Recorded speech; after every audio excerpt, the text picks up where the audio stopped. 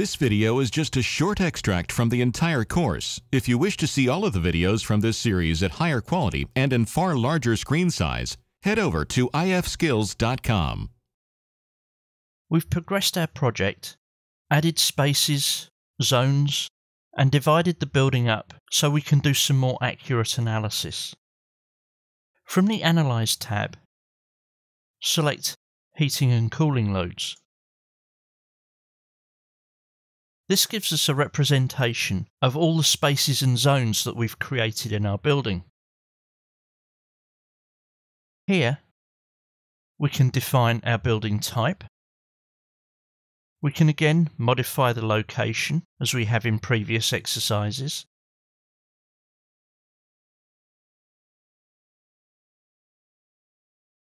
And change the building service for the entire building, as well as the construction.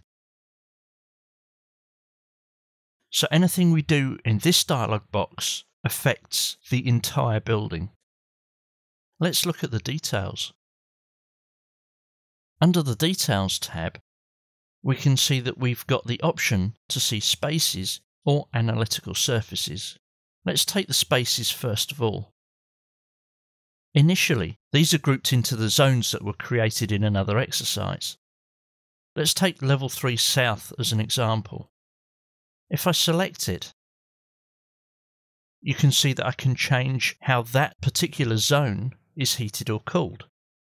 How do I know which area of the building I'm looking at? I can use the isolate command to isolate that part of the building. So let's look at level 3 Office South. If I expand this tree, you can see that I'm now looking at the individual spaces and here I have an error. Let's look at the related warnings. And in this instance, I know that I can ignore this particular warning. It's telling me that there is another space with the same number. So for this exercise, this warning can be ignored. Let's examine 73 Hall 4 in more detail. I can click on the Analytical Surfaces button. Clicking on this will then go through and analyse all the spaces and zones in the building. You can see at the bottom left of the screen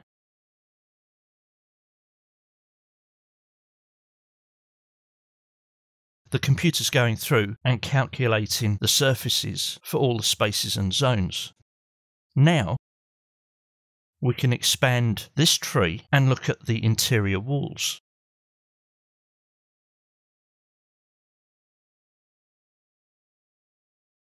The interior walls also show the doors. So although in our model we haven't actually created walls, doors and windows, the spaces and zones that we've created are aware of those walls, doors, and windows that are in the linked file. If we go back up to the entire space, here we can define what that space is and the construction type for that space.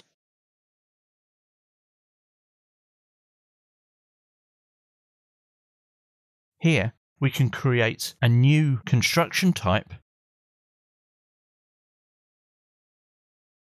and choose whether the external walls,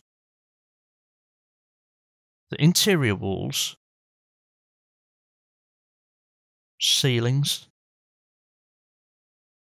floors, slabs, doors, and exterior windows are any different from the rest of the generic building. We can choose the occupancy levels, whether these are the default or whether they're specified. And the heat gain per person. Again, whether this is the default or a specified value.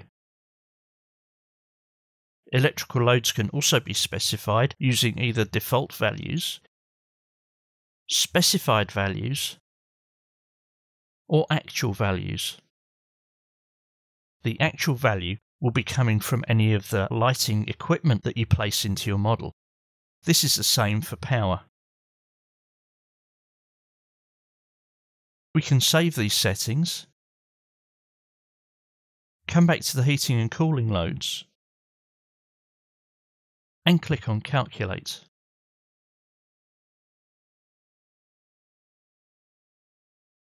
Again, you can see down here in the bottom left that Revit is taking its time in processing the surfaces, spaces, and volumes to create a report. This report will be available for us in the project browser. Scrolling down in the project browser, we'll now find a section called Reports and our first load report. And scrolling down in the actual load report itself, we can start seeing some of the calculated data.